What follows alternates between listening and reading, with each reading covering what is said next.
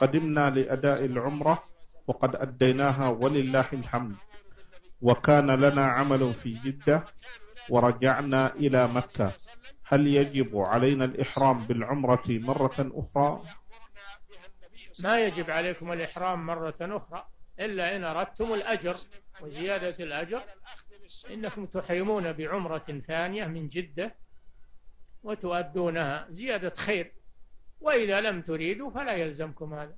نعم.